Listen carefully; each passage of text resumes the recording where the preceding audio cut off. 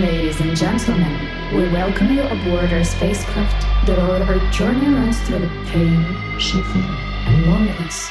We kindly ask you to fasten your seatbelts and keep your fucking hands to your fucking self. The journey begins in six, five, four, three, two, one. Voided.